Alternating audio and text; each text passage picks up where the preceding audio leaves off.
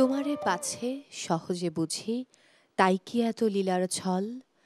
বাহিরে যবে হাসিরে ছটা, ভেতরে থাকে আখিরে জল। বুঝি গো আমি বুঝি গো তব ছলনা, যে কথা তুমি বলিতে চাও, সে কথা তুমি বলো না। দর্শক, সঙ্গে আছি মৌসুমি মৌ আর যেহেতু রবীন্দ্রনাথের সৃষ্টি দিয়ে শুরু করলাম, আজকের আয়োজনটি পুরোটাই রবীন্দ্রনাথকে উৎসর্গ করে।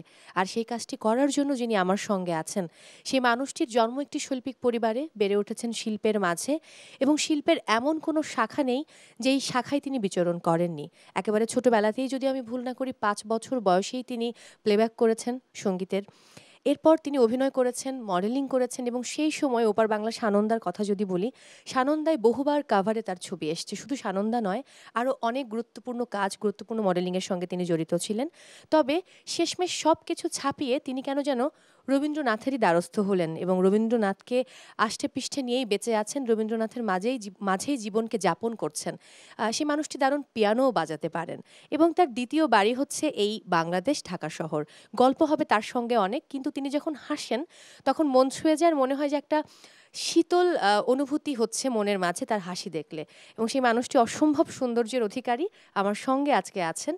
দুই বাংলার জনপ্রিয় একজন রবীন্দ্রসঙ্গীত শিল্পী এবং তার আরও অনেক পরিচয় আমরা গল্পে গল্পে জানব। তিনি শ্রেয়া গুহ ঠাকুরতা।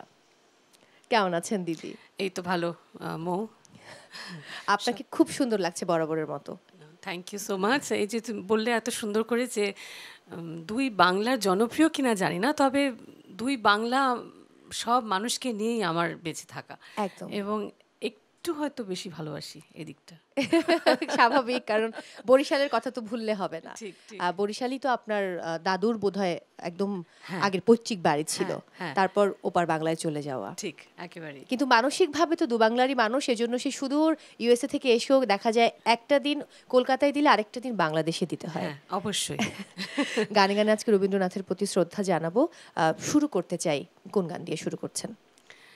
আমি শুরুটা ভেবেছি রবীন্দ্রনাথের পূজা পর্যায়ের একটি গান বেহাগ রাগে আধারিত। আচ্ছা। যেহেতু গুরুদেবের সবচেয়ে পছন্দের রাগ বেহাগ ছিল তো সেই গানের মাধ্যমেই তাকে শ্রদ্ধাঞ্জলি দিই। সেরম একটি গান বাঁচলাম হ্যাঁ। শোনাই তাহলে। শুনব।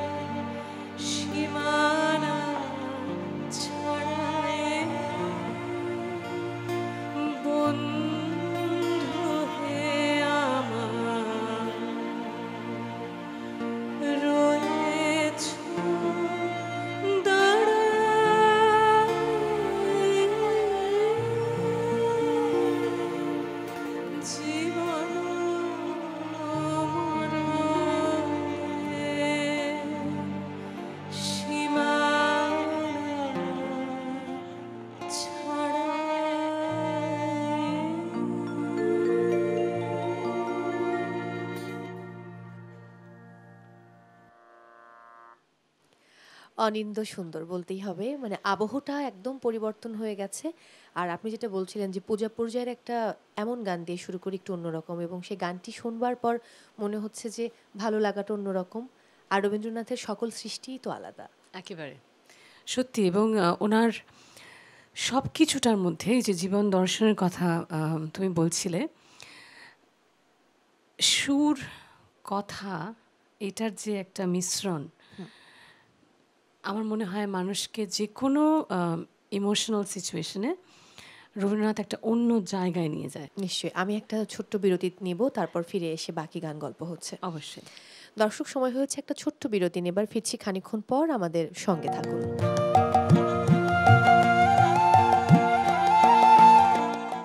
দর্শক ফিরে এলাম বিরতি থেকে। সবাইকে আরও একবার আমন্ত্রণ জানাচ্ছি আমাদের আজকের এই আয়োজনে। সঙ্গে আছি মৌসুমি মৌ আর আমাদের সঙ্গে আছেন আমাদের সবার প্রিয় সংগীত শিল্পী এবং সেই সাথে ভীষণ রকম নান্দনিক একজন মানুষ, শ্রদ্ধেয় শ্রেয়া গুহ ঠাকুরতা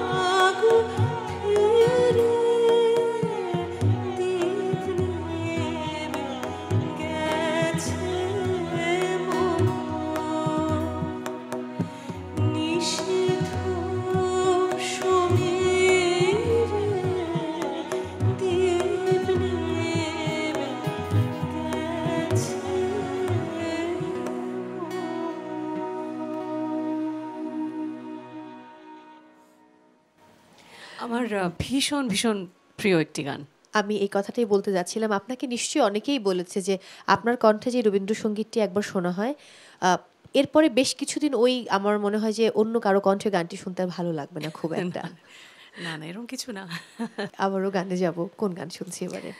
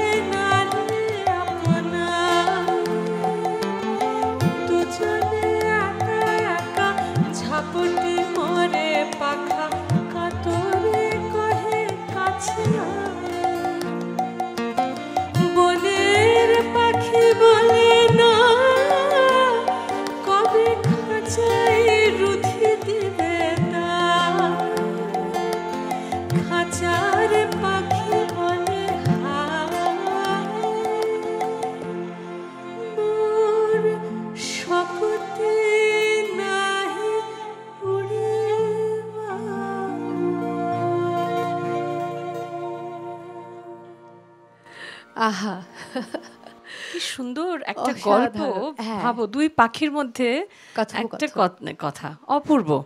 এবং মনে হচ্ছিল যে আমরা দৃশ্যায়নটা দেখতে পাচ্ছি আমি আরও একটা বিরতি নেব ফিরে এসে বাকি গান গল্প হচ্ছে। একেবারে।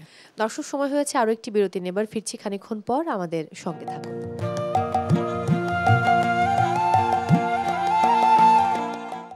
দর্শক, ফিরে এলাম বিরতি থেকে। আরও একবার আমন্ত্রণ জানাচ্ছি আমাদের আজকের আয়োজনে। সঙ্গে আছি মৌসুমি মৌ, আর আমার সঙ্গে আছেন সেই নান্দনিক মানুষটি, রবীন্দ্রসঙ্গীত শিল্পী শ্রেয়া গুহ ঠাকুরতা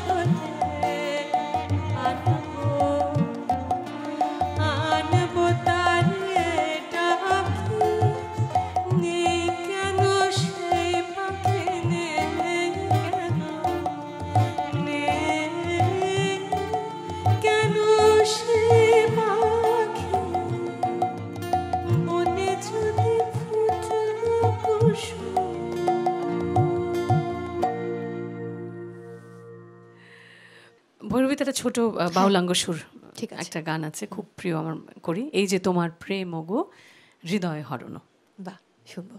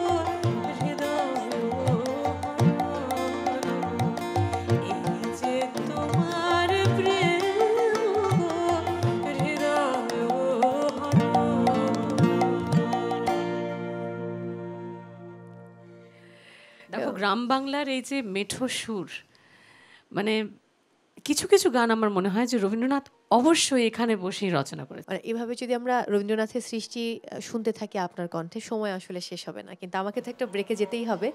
ফিরে এসে আবার গান গল্পে ফিরছি। দর্শক, সময় হয়েছে আরও একটি বিরতি নেবার। ফিরছি কিছুক্ষণ পর আমাদের সঙ্গেই থাকুন।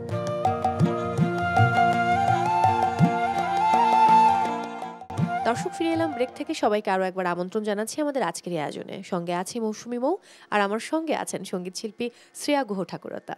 গানে যাব আবারও। কোন গান শুনছি? আমি পিলু রাগের রবীন্দ্রনাথের অনেক গানই আছে যেগুলি ঠুংরি অঙ্গে সৃষ্টি করা। সেরম গান একটা শোনাচ্ছি। আমার খুব প্রিয় গান এবং মুহূর্তের কাছে শেখা। আচ্ছা। শোনাই। হ্যাঁ নিশ্চয়ই।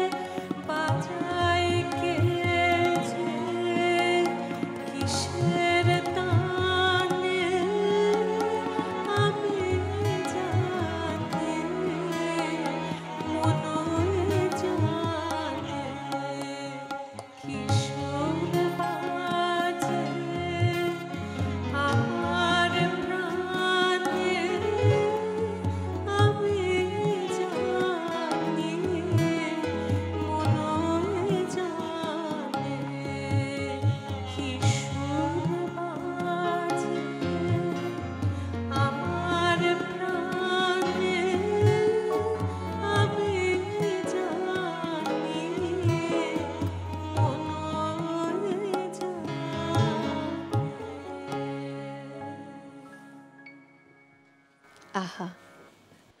অন্যরকম মানে প্রত্যেকটি সৃষ্টি অন্যটি থেকে আলাদা এবং জীবনের প্রেক্ষাপটগুলো সেই সৃষ্টির মাঝে খুঁজে পাওয়া যায়।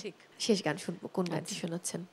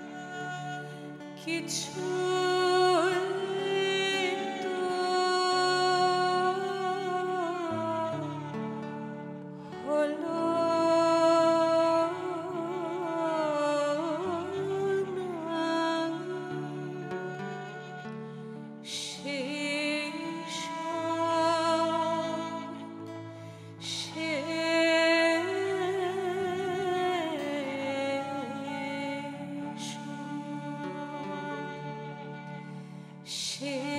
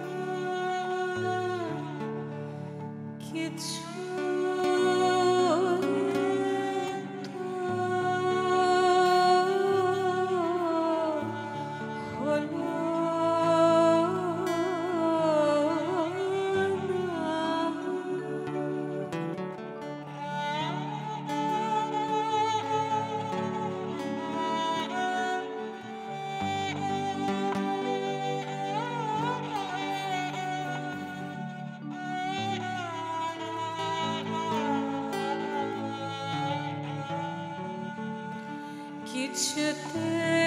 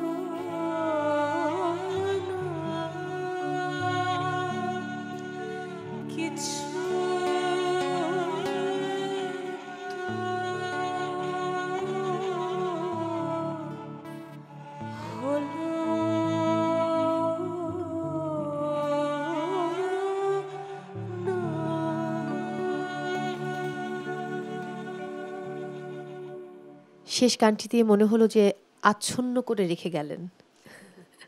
অশেষ কৃতজ্ঞতা আবারও। অনেক ভালো থাকুন এবং আশা রাখি যে যখনই আবার আসবেন তখনই সঙ্গে সঙ্গে ওপার বাংলার সঙ্গে এবার, এপার বাংলাকেও সময় দেবেন। এবং সেই প্রত্যাশা সবসময় থাকবে। আমি একটু বিদায় নিচ্ছি। দর্শক, বিদায় নিচ্ছি আজকের মতো এবং আশা রাখি যে পুরোটা সময় জুড়ে আমাদের সঙ্গে ছিলেন এবং আপনাদের ভালো লাগাতেই আমাদের আসলে সার্থকতা। সবাই অনেক ভালো থাকুন, নিরাপদে থাকুন, আর শিল্পে বাঁচুন, সৃষ্টিতে থাকুন সবসময়।